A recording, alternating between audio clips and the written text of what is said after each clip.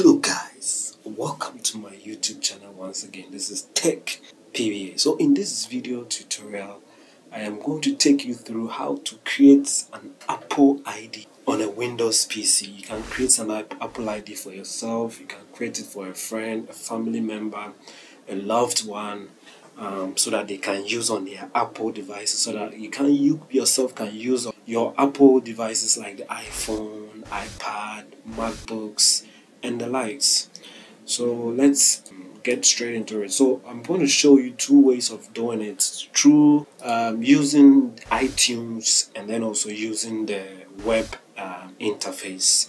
So I'll quickly open iTunes then where you see sign in to iTunes store, go ahead and then click on it. And then since we don't have an Apple ID and we are now going to create one, we'll click, click on the create new Apple ID. Now go ahead and then fill out these uh, boxes with your details and then continue. Once you have your details filled out, your email address, your password, you verify it, go ahead and then accept the Apple media services terms and conditions and then click continue to continue the process um, on the next screen with a more detailed personal information. Apple requires this information so go ahead and then fill it out once again and then continue.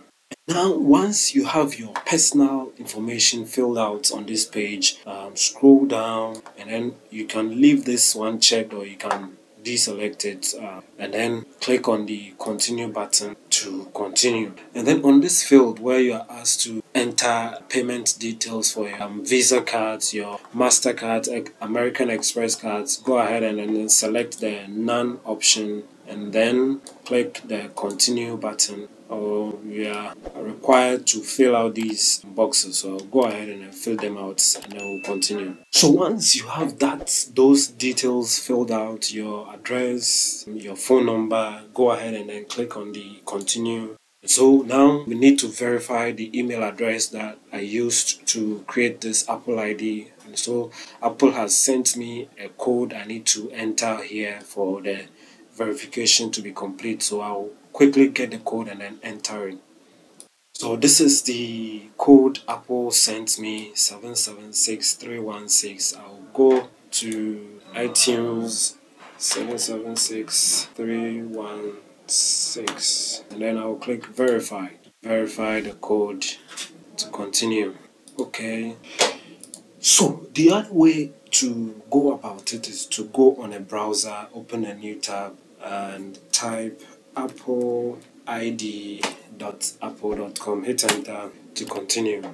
And then from there you want to click on this link right here which says create your apple id and again you have to go through this process to create your apple id and then on the same page under the phone number select which um, option you would want um, to verify your account with, be it a text message or a phone call. You can either select these options to receive announcements, apps and music information from Apple.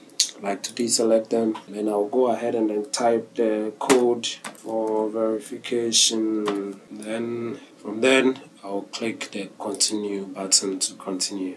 So again, once you click on the continue button, your account will be created for you. So yes guys, this has been a quick video tutorial on how to create an Apple account or an Apple ID on a Windows PC or a MacBook. So kindly click on the subscribe button down this video, click on the like button if you enjoyed watching this video. Please share this video and I will see you in another video.